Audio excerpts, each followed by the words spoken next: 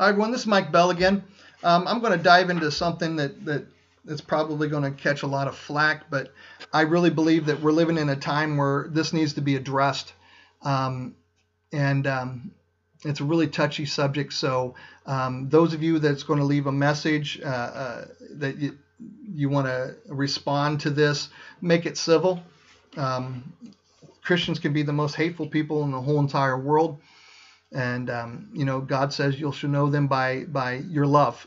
So if you're going to leave a message do it in love. And uh, if uh, if it warrants a uh, response i will respond.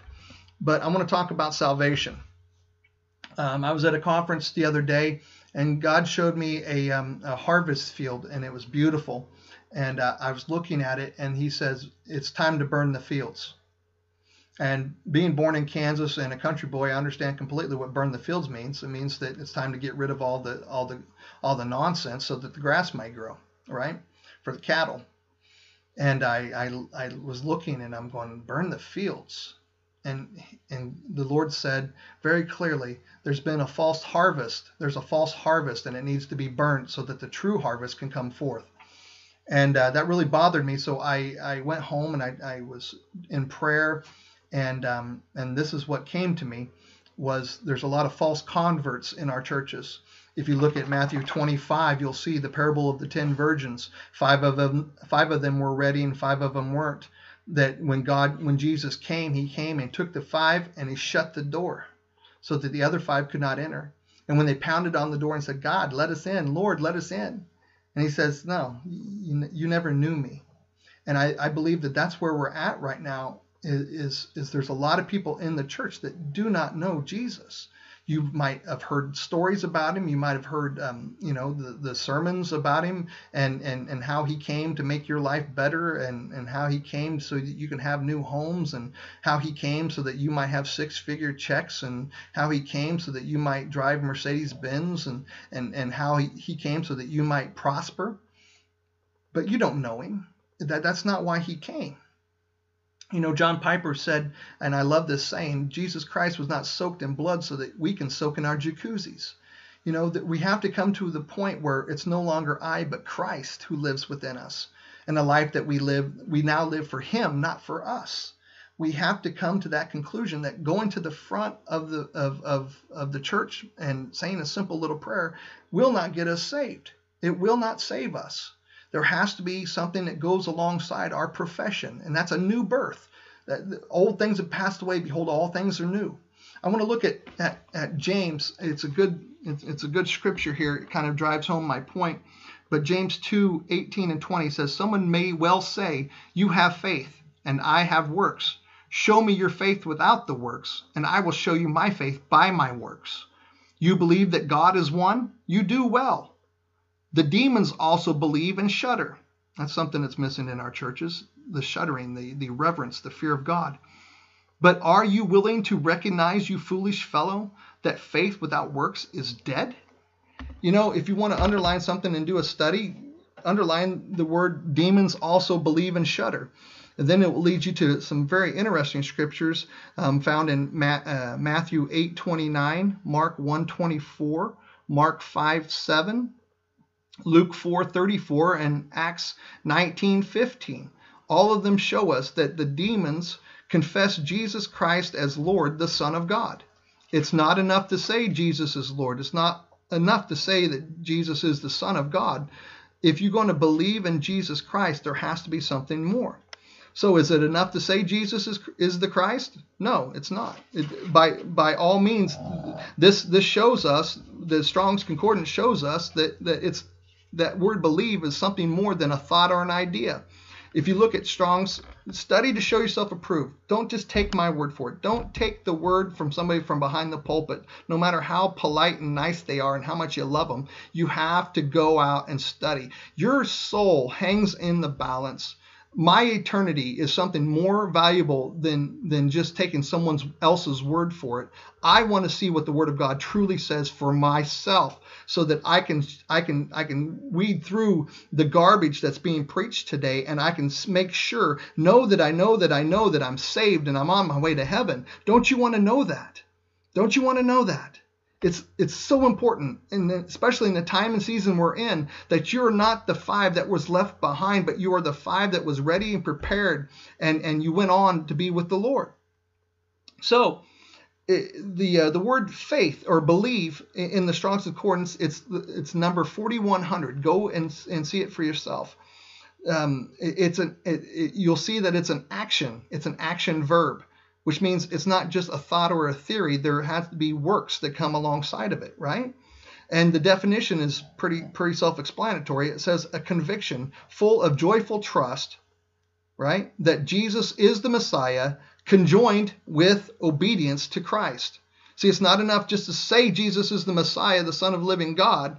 It's conjoined with obedience to what he says, obedience to what his word says. Follow his commandments, obey him, right? Again, here's another definition to have a faith directed to believing or in faith to give oneself up to Jesus. It's no longer I but, but Christ, it's no longer I but Jesus. To commit oneself trustfully to Jesus. To commit, that means that you give everything that you are to him and you live as Christ. So is it by my works? I have to make sure that uh, I finish this with with this this thought because then a lot of people will be sitting here going, well, then Mike, are you saying that it's by my works that I get to go to heaven? Absolutely not. It's by the finished work of the cross that you get to go to heaven, right? It's not by your works that you get to go to heaven. If that was the case, Jesus Christ would not have had come and die a bloody, brutal death for us, right? Ephesians 2 1 through 10 if you read it in context, plainly states that it's not by our works so that no man can boast, but it is a free gift from God, right? But knowing this, there has to be works that follow. You say that you you believe, I say I I believe. You show me your your works, your faith without works, and I'll show you my faith with works. There's no way to say that you believe in Jesus Christ without having works. There has to be fruit on the tree. Go to every parable that Jesus taught on when it came to fruit. If you were bearing if you're bearing fruit, that's good. If you weren't bearing fruit, what did he do? He cut you down and threw you into the fire. Is it enough to take someone else's word for it? Say that simple little prayer and go live like the devil and then think that you are okay with God? It's not enough you have to have works. You have to have fruit that follows that confession. You know, if you came to the front and you said that simple little prayer, but you went back and lived like the devil and you had no change, there was no change at all, there was no rebirth, what you experienced was conviction and not salvation. I pray with all my heart that you seek the Lord while there's still time.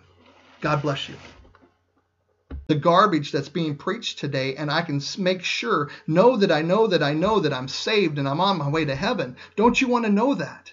Don't you want to know that? It's it's so important, and especially in the time and season we're in, that you're not the five that was left behind, but you are the five that was ready and prepared, and and you went on to be with the Lord. So the uh, the word faith or believe in the Strong's Concordance it's it's number 4100. Go and and see it for yourself. Um, it, it's an it, you'll see that it's an action. It's an action verb, which means it's not just a thought or a theory. There has to be works that come alongside of it, right? And the definition is pretty pretty self-explanatory. It says a conviction full of joyful trust, right, that Jesus is the Messiah conjoined with obedience to Christ. See, it's not enough just to say Jesus is the Messiah, the Son of living God. It's conjoined with obedience to what he says, obedience to what his word says. Follow his commandments, obey him, right? Again, here's another definition to have a faith directly clearly. There's been a false harvest. There's a false harvest, and it needs to be burnt so that the true harvest can come forth and uh, that really bothered me. So I, I went home and I, I was in prayer, and um, and this is what came to me was there's a lot of false converts in our churches. If you look at Matthew 25, you'll see the parable of the ten virgins. Five of them five of them were ready and five of them weren't. That when God when Jesus came, he came and took the five and he shut the door so that the other five could not enter. And when they pounded on the door and said, God, let us in, Lord, let us in and he says, No, you, you never knew me. And I, I believe that that's where we're at right now is, is there's a lot of people in the church that do not know Jesus. You might have heard stories about him. You might have heard, um, you know, the, the sermons about him and, and, and how he came to make your life better and, and how he came so that you can have new homes and how he came so that you might have six figure checks and how he came so that you might drive Mercedes Benz and, and, and how he, he came so that you might prosper. But you don't know him. That, that's not why he came. You know, John Piper said, and then it will lead you to some very interesting scriptures um, found in Ma- uh, Matthew 8:29, Mark 1:24, Mark 5:7, Luke 4:34, and Acts 19:15. All of them show us that the demons confess Jesus Christ as Lord, the Son of God. It's not enough to say Jesus is Lord. It's not enough to say that Jesus is the Son of God. If you're going to believe in Jesus Christ, there has to be something more. So is it enough to say Jesus is is the Christ? No, it's not. It, by by all means, this this shows us the Strong's Concordance shows us that that it's that word believe is something more than a thought or an idea. If you look at Strong's study to show yourself approved, don't just take my word for it. Don't take the word from somebody from behind the pulpit, no matter how polite and nice they are and how much you love them. You have to go out and study. Your soul hangs in the balance my eternity is something more valuable than than just taking someone else's word for it. I want to see what the word of God truly says for myself so that I can I can I can weed through the Hi everyone, this is Mike Bell again. Um, I'm going to dive into something that that that's probably going to catch a lot of flack, but I really believe that we're living in a time where this needs to be addressed. Um, and um, it's a really touchy subject. So um, those of you that's going to leave a message uh, uh, that you, you want to respond to this, make it civil. Um, Christians can be the most hateful people in the whole entire world, and um, you know God says you should know them by by your love. So if you're going to leave a message, do it in love, and uh, if uh, if it warrants a uh, response, I will respond. But I want to talk about salvation. Um, I was at a conference the other day, and God showed me a, um, a harvest field, and it was beautiful. And uh, I was looking at it, and He says, It's time to burn the fields. And being born in Kansas and a country boy, I understand completely what burn the fields means. It means that it's time to get rid of all the all the all the nonsense so that the grass might grow, right, for the cattle. And I I, I was looking and I'm going burn the fields and and the Lord said very and I love this saying Jesus Christ was not soaked in blood so that we can soak in our jacuzzis. You know that we have to come to the point where it's no longer I but Christ who lives within us. And the life that we live we now live for him not for us. We have to come to that conclusion that going to the front of the of, of, of the church and saying a simple little prayer will not get us saved. It will not save us. There has to be something that goes alongside our profession, and that's a new birth. That old things have passed away; behold, all things are new. I want to look at, at, at James. It's a good it's, it's a good scripture here. It kind of drives home my point. But James 2, 18 and 20 says, Someone may well say, You have faith, and I have works. Show me your faith without the works, and I will show you my faith by my works. You believe that God is one? You do well. The demons also believe and shudder. That's something that's missing in our churches the shuddering, the, the reverence, the fear of God. But are you willing to recognize, you foolish fellow, that faith without works is dead? You know, if you want to underline something and do a study, underline the word demons also believe and shudder.